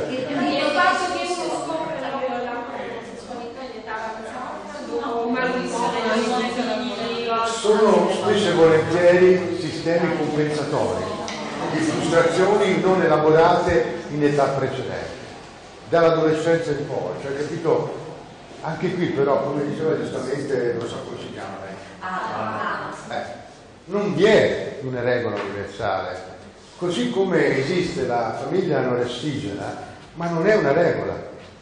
Cioè è molto frequente una famiglia particolare dove il ruolo materno e quello paterno condizionano fortemente la figlia, ma non basta, non è C'è sufficiente. stato, c'è stato un periodo in cui tra i ragazzi si sbandieravano quasi come una la bisessualità, loro la bisessualità. Ma in realtà, in realtà sono perfettamente d'accordo con quello che ci hai spiegato. Però io non ho capito ancora bene. Non solo, ma di molto più frequente nel sesso femminile e nelle ragazzine giovani.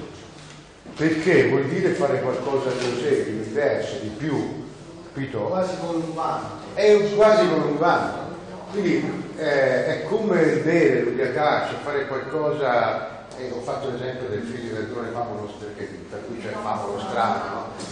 E è qualcosa di questo tipo, che non, eh, non ha di per sé un valore e purtroppo provoca frustrazione, dolore eh, e eh, depressione. E non sei depresso perché sei omosessuale, sei depresso perché vivi, ritorniamo alla palla con tutti gli specchietti, dei pezzettini, perché noi siamo tutti bisex, con un orientamento, quando, quando siamo nel greco materno, non come lei, ma lei sei mesi fa aveva un aggeggino che poi a un certo punto è- si è deciso a venire fuori. Noi nasciamo allo stesso modo. Quindi abbiamo un orientamento così biologicamente poco evidenziato che storicamente dalla nascita si è sempre separato il maschio dalla femmina in maniera che il maschio fosse sempre maschio e la femmina fosse sempre femmina. Non ci sarebbe stato bisogno nel passato di questo forte condizionamento sociale se quello biologico fosse sufficiente. Quindi noi siamo B, siamo molto molto simili. No? E quindi cioè i casi di omosessualità, quelli più... Ma ci sono, ci sono. Eh, Io, disfunzione, la sindrome di Wilson, per esempio, è meravigliosa. cioè, La donna perfetta, donna bellissima, alta, glabra, non c'è un pelo.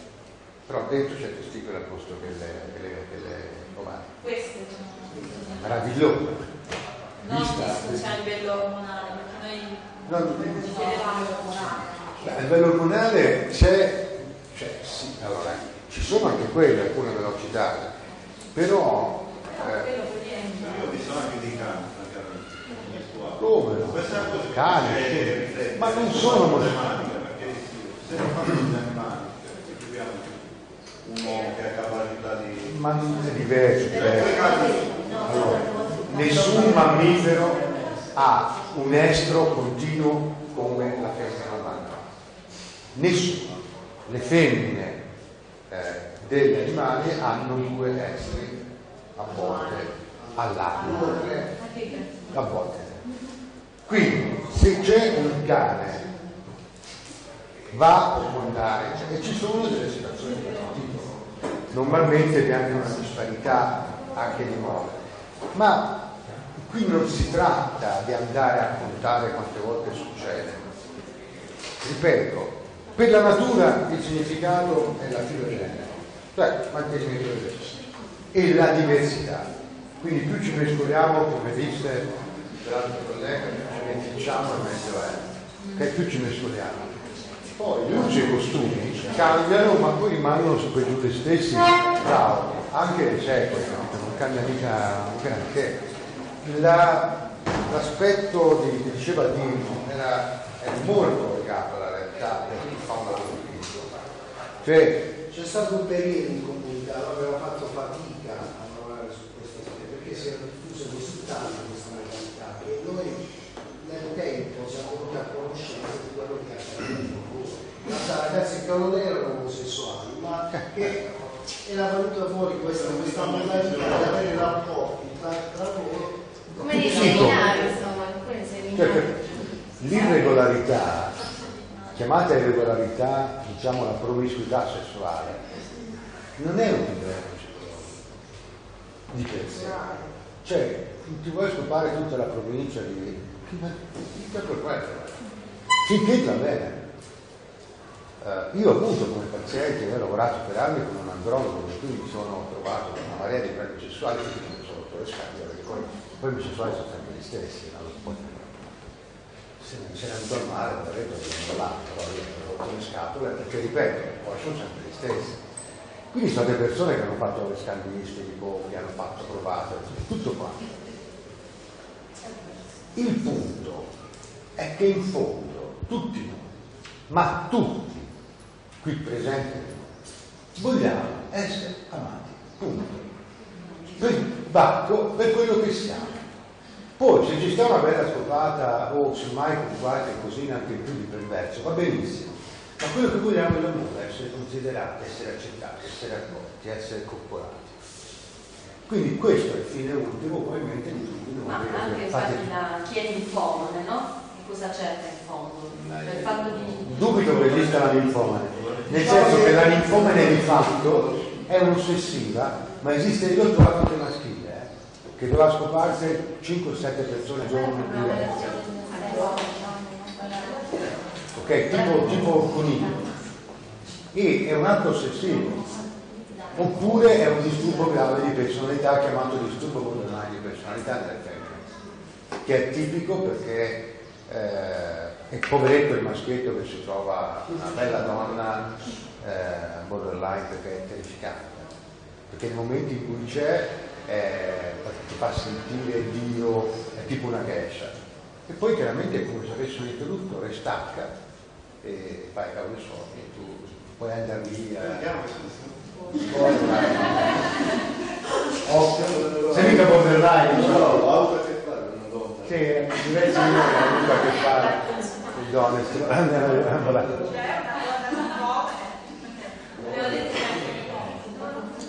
Sì, eh, è una forma ossessiva, di disturbo ossessivo compulsivo. E eh, tenete presente però questo che come al solito conta, conta la qualità, poi fare l'amore fa sempre piacere, però le solite americane, eh, anche dopo Master e Johnson, che sono andati a misurare sia gli ormoni sia le endorfine, hanno visto che la increzione di endorfine dopo un atto sessuale con persone occasionali rispetto a delle coppie affiatate era in rapporto a 1 a 2000, una cosa del genere. Cioè le endorfine sono delle sostanze che noi produciamo che danno un benessere psicofisico, una specie di autodroga positiva. E hanno, non erano prostitute o prostitute, erano persone che hanno accettato di avere un atto sessuale. E sono andate a misurare queste, queste cose. Quindi il piacere provato è lo stesso? No, non è lo stesso. E eh, il piacere c'è, ma qualitativamente e soprattutto nella nostra memoria eh, non produce degli effetti così positivi. La moda di oggi è quella di bere come minimo, se non impasticcarsi, in maniera da disinibirsi in maniera da andare con il primo che capita, ovviamente la mattina dopo non ricordi niente e quindi è come se tu non avessi fatto un accidente di nulla. La moda dello stordimento è molto, purtroppo, nelle giovani generazioni di moda e che tu lo faccia con un uomo o con una donna, a quel punto ha pochissima differenza. Okay? Poi appunto regole, in questo caso non ci sono, l'importante, veramente di essenziale importanza, Fabio, è attenzione dal punto di vista dal quale ti metti. Qualcuno ha voglia di fare un po' di teatrino, poi si va via? Qualcuno si offre volontario? Ho bisogno di, un, di, un, di una... Vieni, vieni tu?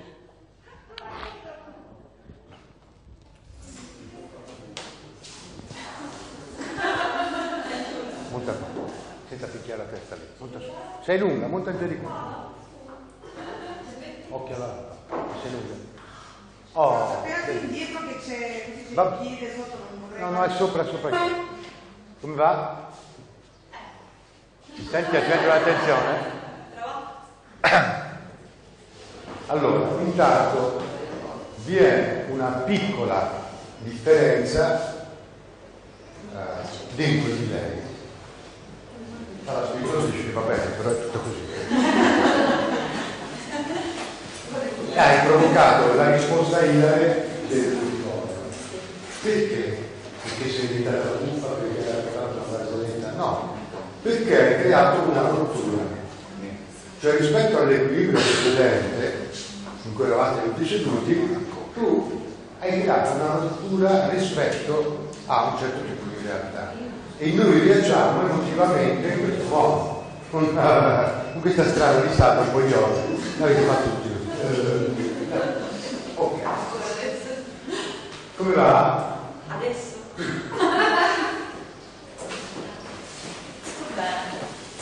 Bugiardissima. Ok, magari fanno anche la foto, montata. Fatto? Bene. Sulla mia vicino a me, ginocchio, a sedere sul tallone. Cosa? Guarda come va. Meglio o peggio? Guarda caso. Io mi trovo bene vicino Guarda come va. Meglio? Che ti lei? Ora come va? Bene. Allora, delle tre posizioni puoi dare. Sedere là, in ginocchio così. Ok? Abbiamo fatto un test. Cosa riguarda questo test? Riguarda intanto come noi ci percepiamo e come viviamo la posizione anche mentale dell'ambiente. Dentro di lei è cambiata la sua realtà, perché dobbiamo guardare di lei. Se voi siete lasciati. Tornando al punto, dentro di lei è cambiato quando era l'anime, lo scapolare. Quindi lei ha trovato delle emozioni diverse da quando è seduta a quando è in piedi ora. Le prova leggermente diverse anche a seconda della mia posizione. Perché se io mi avvicino troppo, ok? Guarda caso, questa è la questa è la posizione di nuovo naturale. Questa è la classica distanza che è necessaria per non provare alterazione di sorta, che è all'incirca quella della lunghezza del braccio. Noi siamo biologicamente condizionati a, a allertarci se questa distanza, che si chiama prossemica, viene ad alterarci. Poi cioè, io posso essere gradevole o non gradevole per lei, però c'è uno stato di allarme, ok? Eh, io per esempio odio le persone che mi si avvicinano. È una questione appunto di... E questo ha a che fare proprio con il senso di libertà. Ora, non mi ricordo come ti chiami. Maria Grazia. Maria Grazia, ma te l'ho chiesto 70 volte, eri anche la, num- eri la numero uno. Allora, questa stanza è sempre la stessa stanza, Sì. le persone sono rimaste le stesse. Quindi cos'è cambiato? Il contatto con terra, cioè il pavimento, È cambiato il punto di vista, è cambiata la... la prospettiva in cui vedi la stessa realtà e in cui anche loro l'hanno vista. Quindi ritorniamo alla solita palla, ecco che cambiando, non è cambiato nulla, la realtà, terra, soffitto, le seggiole, Ah, il contatto però. È ho capito, ma c'è, a chi, c'è a chi piace, c'è a chi fa paura. Ok? Mm, Essere aderenti a terra è una sensazione piacevole per alcuni, per altri assolutamente destabilizzante. Questo dipende appunto dalle caratteristiche personali. Grazie. Allora, questo esempio spero che sia servito a chiarire. Quindi non è la realtà, a volte cambia la realtà, ma noi cambiamo molto spesso a seconda della prospettiva da cui vediamo e percepiamo la realtà. La grande abilità, quindi, è quella di muoverci. Ecco perché il nostro mestiere è di moda, perché noi cerchiamo di diventare l'altro. Però anche nei vostri rapporti di coppia, anche tu col marito, se tu hai un livello di comprensione come dici di avere, sei tu che devi muoverti. Se ritieni di avere un punto di vista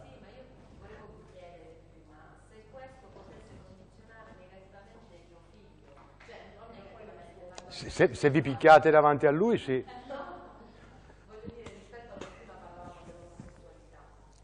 Quanti anni ha? Mettetevi d'accordo su cosa dirgli. Non date due messaggi diversi. Se no, andate da un bravo psicologo e gli fate parlare a lui, se non riuscite a fare.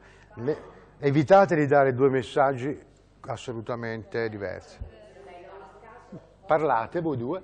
sicure che sono due messaggi diversi, non è che questo può indurre il ragazzo a diventare omosessuale. Ma ci mancherebbe altro. Abbiamo... Se la sua disponibilità al dialogo all'accettazione dell'omosessuale No, no, la calma, calma. Allora, non diamo consigli. Allora, non- si danno consigli per non dare cattivo esempio, diceva qualcuno. Allora, un certo Fabrizio De Andrea. Allora, non diamo consigli. Prima cosa va esaminata attentamente, chiedi un consulente, eccetera. Evitare in qualsiasi modo di dare due messaggi diversi. eh, non- assolutamente, assolutamente. In questo caso, eh, se il marito non ha voglia di cambiare il suo atteggiamento, gli dici semplicemente guarda, a meno non parlarne, lascia perdere, tanto lui se ne accorgerà a scuola, a 12 anni. È un'età di transizione per cui il tuo ruolo materno da ora in poi calerà moltissimo. Rassegnati, eh, lo so. Eh, lo deve fare, eh, vabbè, è fisiologico che sia così, rassegnati. Quindi, se tu insisti molto, rischi una regressione e non è il caso. E il padre semplicemente gli dici, statene quieto, tienti le tue idee, ma non rompe troppo le balle. Una volta che gli hai detto in privato, lasci correre. E quello che succede, succede, tanto ormai è più la società e l'ambiente che lo, lo- lo plasmeranno, insomma, il ruolo genitoriale ora è relativo e contenitivo. No, è diverso, non è in fase calante, è molto importante lo stesso, però è di tipo contenitivo, lui deve, essere, deve avere la sensazione di essere protetto e accolto comunque a casa, basta. Quindi evitate di fare discorsi, non rompete le balle a questo povero figliolo, mandatelo a giocare a calcio. Spesso capita magari che eh, venga usato un- questa, questa parola per indicare, agitare qualcuno e io mi ribello perché perché- ma insomma sono persone come gli altri, ma perché vi comportate così? Cioè loro due come se fosse- avessero sposato Risparmia quel fiato per un'altra occasione. Sì, per quello che serve puoi tacere tranquillamente. Mm? Lo tieni per te, tanto non si condizionerà, come ha detto giustamente lei, né in un senso né nell'altro, gli puoi creare solo uno stato di risentimento e basta. quindi- Posso fare una- un, un appunto che forse non è così, forse anche perché il ragazzino sta crescendo e quindi vuole eh, la, sua, la sua consapevolezza Eh, certo, il modello è quello lì, quindi è chiaro che l'orientamento va secondo quel modello e segue fino a che distruggerà il modello, entro due anni distruggerà il modello, quindi non ci sono problemi. Entro un paio d'anni massimo il modello maschile se lo mangia a morsi e lo risputa, quindi bisogna avere solo pazienza. Appena entra in adolescenza piena, modello paterno, arrivederci e grazie, se l'hai già mangiato e digerito. Va bene? Domande? No.